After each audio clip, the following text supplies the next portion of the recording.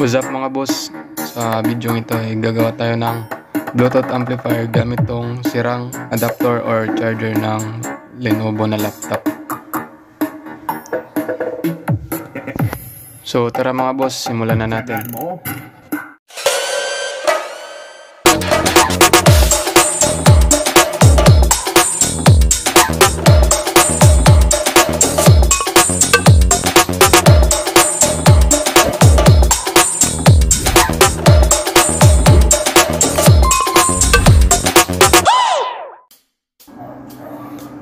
Ito yung gagamitin nating laptop adapter mga boss.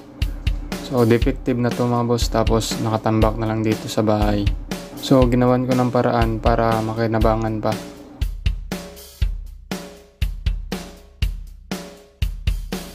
Ito yung laman niya.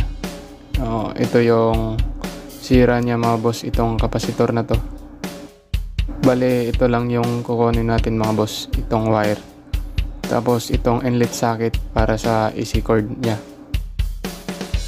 Tanggalin lang natin mga boss.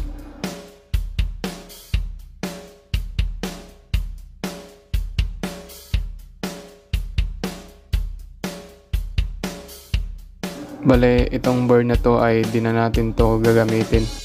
Ito lang yung mga kakailanganin natin mga boss. Tapos itong casing niya.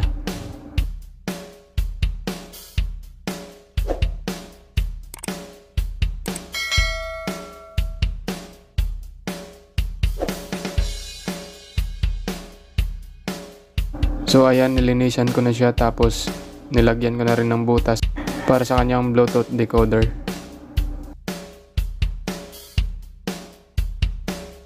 Next na kailangan natin ay itong AC-DC na adapter para sa ating power supply. Tanggalin lang natin yung laman niya.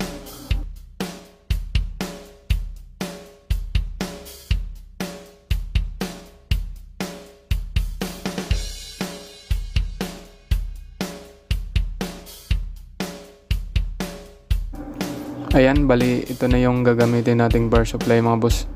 So, 220 yung input niya. Tapos, 12 volts naman yung output voltage.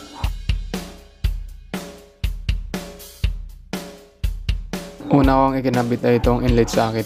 Tapos, itong power supply.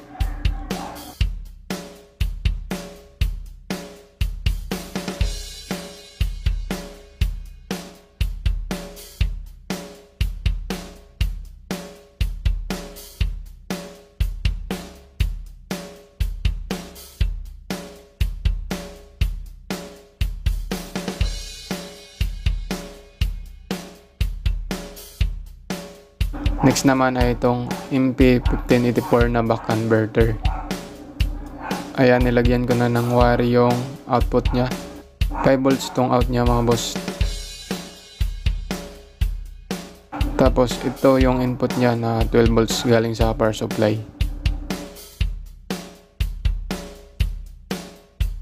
Ang purpose ba't ginamitan ko siya ng back converter mga boss?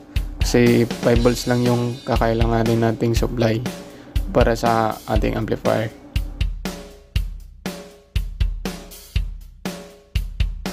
So, ito na yung amplifier na gagamitin natin mga boss. Itong PAM 8403. So, ito yung socket niya para sa 5 volts na supply. Tapos yung out niya para sa speaker. At saka ito naman yung input. Ayan, nilagyan ko na ng wire yung input niya. Papunta to sa Bluetooth decoder.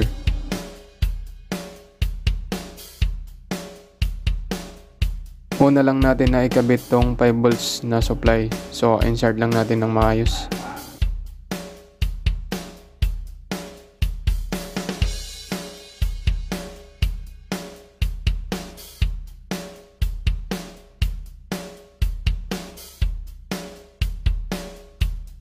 Next na ikakabit natin na itong wire para sa 12 volts na supply ng ating Bluetooth decoder. Yan. Diyan lang natin i-connect sa out ng ating power supply.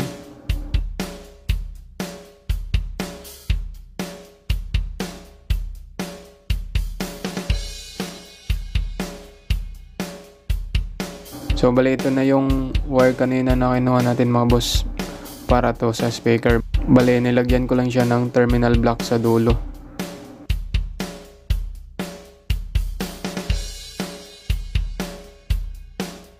So insert lang natin to.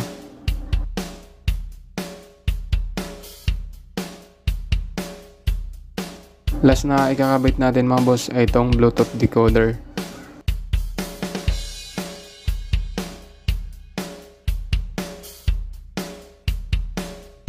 Insert ko lang to para sa supply niya. Tapos itong input galing sa amplifier.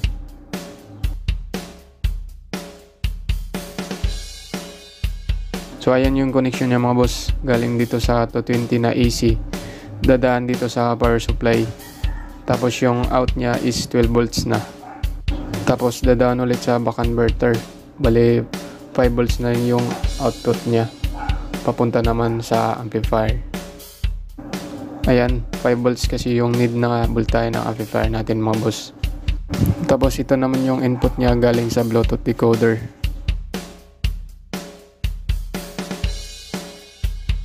Tapos yung ating speaker cable.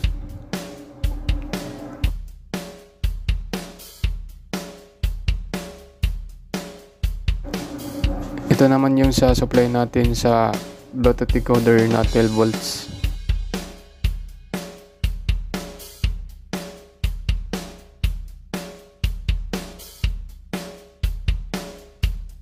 So ito na yung easy cord na ginamit ko mga boss.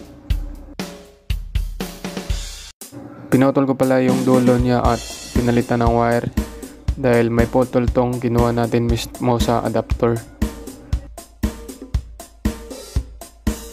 So ayan dinugtong ko lang.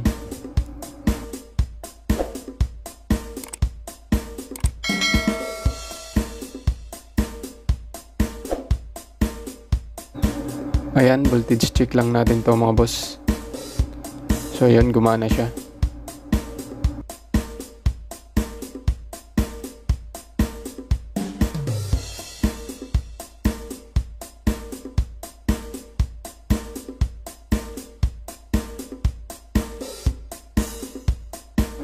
Yan, meron siyang 12.4 volts sa out ng kanyang power supply. Next naman ay sa out ng back converter. Yan, meron siyang 5 volts. Tapos, next na i-check natin yung sa AC naman.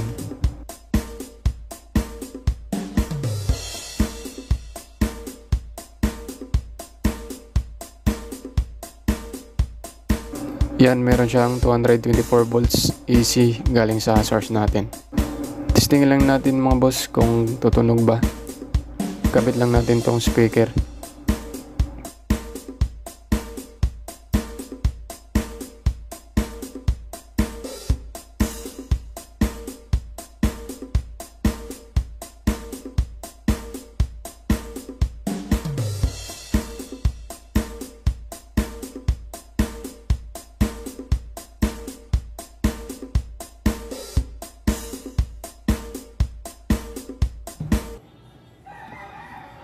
Select muna natin to sa Bluetooth mode.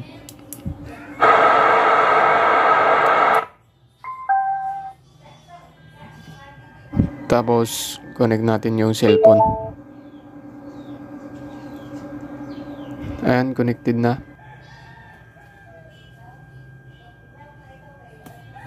Play lang tayo ng music.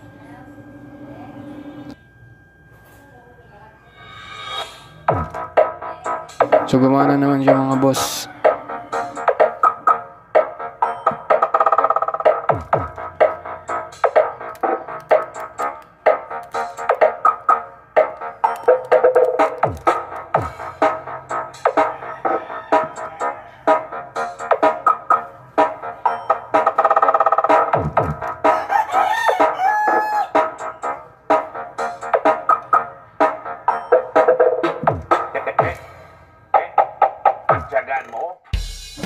So ipipix ko lang to mga boss. Gamitan lang natin ng shoes glue pandikit tapos yung glue stick pwede rin. Yung lahat pala ng parts na ginamit ko dyan mga boss except dun sa sirang laptop adapter ay available yun sa Shopee. Ilalagay ko lang yung mga links sa description. Baka kung sakali gagawa din kayo ng ganitong DIY, click nyo lang yung link sa baba. Ayan, nakapix na. Malinis na siya tignan. Sound check lang natin to ulit mga boss. Ayan yung ginamit ko na speaker mga boss ay yung 10 inch na Sonora. Tapos kinabitan ko din siya ng Twitter.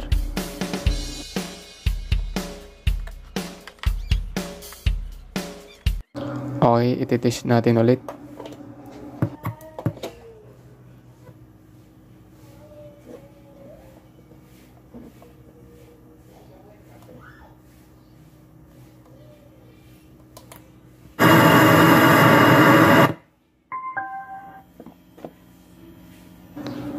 Connect muna natin to sa CP.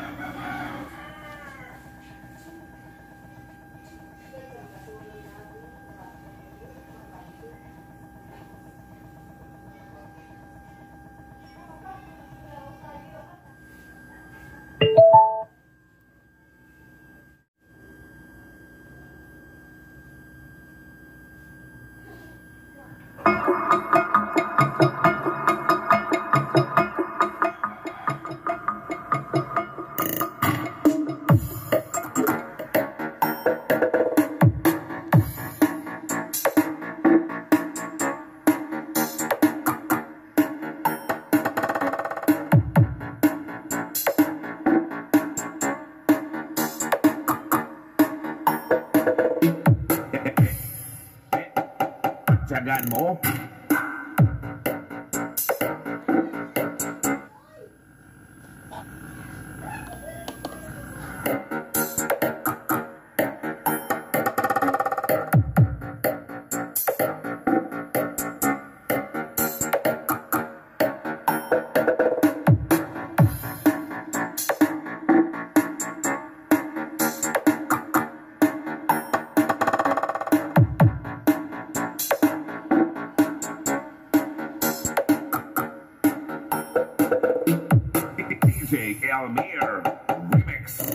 So hanggang dyan na lang yung video natin mga boss.